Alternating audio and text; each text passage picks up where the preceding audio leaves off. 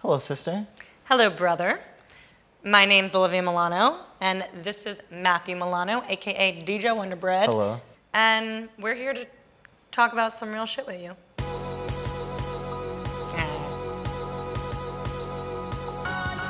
I feel like conversation today has lost all substance, and I just want to get back to the nitty gritty of things. I just want to talk about how to be more engaged and sustain relationships for more than a few dates. Tips I would have for, I guess, women wanting to orgasm.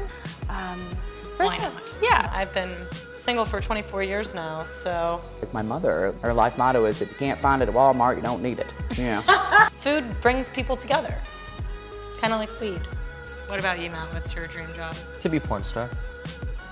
I kind of want to just talk about embracing your natural beauty and just kind of not having to feel like you need to change the way you look to please anyone else.